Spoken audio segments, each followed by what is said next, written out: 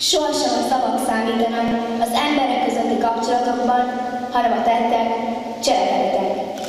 Kiállás a másikért, segítségnyújtás embertársainak, figyelmesség a szeretet lény felé. Mind-mind olyan cselekvés, amelyen közvetlen környezetünkre hatást tud gyakorolni, és ha ez az odafigyelés a másik ember szélesebb körben is elterjed, akkor talán jobban tehetjük a mai Magyarországot is. 1945 áprilisában véget ért a második világháború. Az ország romokban hevert. A magyar nép óriási erővel látott hozzá a haza újjáépítéséhez. Az országot megszálló szovjet csapatok segítségével azonban olyan emberek kerültek a hatalomra, akik rúgtóba csapták a népet. Függetlenséget, szabadságot, jólétet hirdettek, de valójában zsarnosan nyomorította az embereket. A falusi emberektől elvették festményeiket, állataikat. A városi munkásokra igen nehéz volt a megélhetés. Az értelmiség nem mondhatott igazat. Aki az igazságtalan rendszer ellen szólt már, azt megfélemlítették, elvették a szabadságát, börtönbe csukták. A kezdetet nem tudja senki. Mindig jöhet egy pillanat, mikor a mélyből felszakad egy hang, és nincs út visszamenni. Nincs út tagadni, nincsen várni, a lehetetlen megpróbálni. Lehet, mert nincsen lehetetlen, és a végesre a végtelenben kinyúl egy újabb felelet. Mindig jöhet egy pillanat.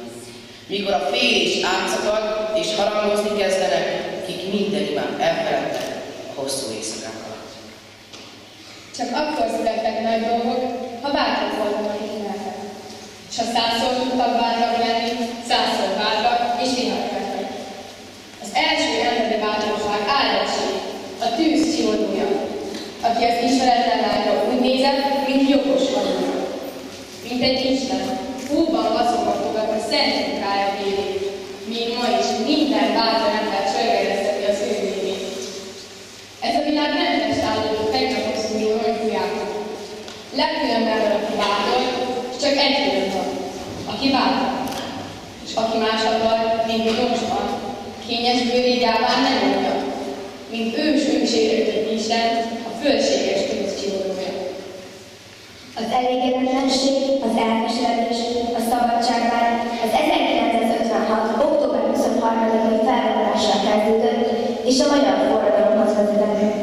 Az egyetemisták álltak a forradalom élére, de hamarosan egész Budapest csatlakozott hozzájuk. Döntsd el, magyar! Mondd ki a szót! Itt lehet! Az ifjúság acél szíve a forróságtól megrepett. Döntsd el, magyar! Döntsd el, diák! S vonjuk lánca a kezünk! Döntsd el, ki élsz itt te honban, velünk jössz vagy ellenünk.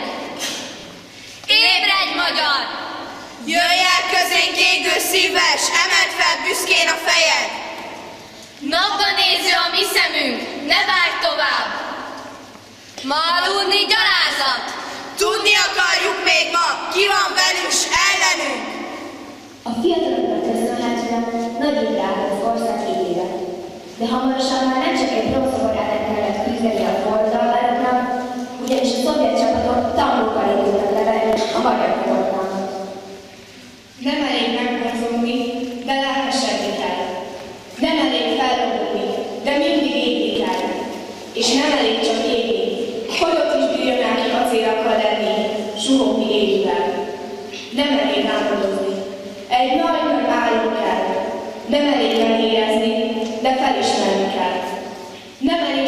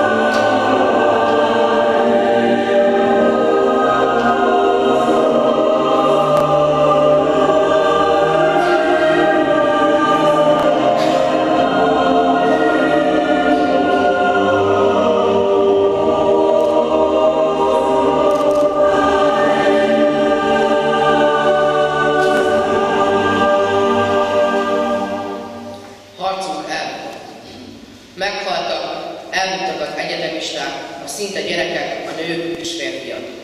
Új hatalom került az ország élére.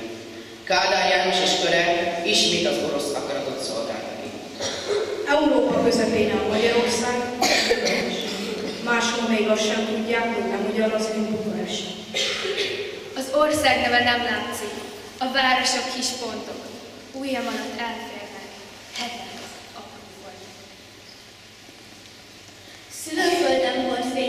árnyéka öltözve vár, mint vándormadár télen a gépnemekbe leszáll. Ez az ország rém- rémáló ébren, ez az ország kísérleti nyúl, ez az ország gyöngy egy pohár bérnek, ez az ország szívem elszorul. Ez az ország lenyelző szaros, ez az ország széttaposott kert, ez az ország a múltban sem gondos, ez az ország zöldre, vörösre vert. Ez az ország hazugok tanul, ez az ország vasalt véres csizmán, ez az ország tolvajok aranyon, ez az ország temetünk is kocsmán. Magyarország alvó lány öle, Magyarország viharok asszonya, Magyarország két folyó gyermeke, Magyarország anyám szép mosolya. Magyarország mulatság dalokkal, Magyarország áram, ha áram, Magyarország pincék borokkal, Magyarország farkasok példák, Magyarország megidőkelve.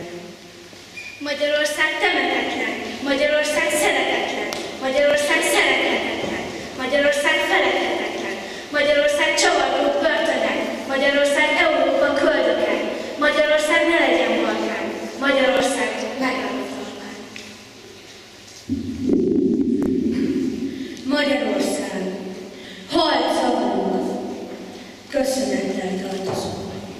Minket többé már balsors vagy ellenség sem téphet szét. Küzdünk egy emberként, egy szabad ország.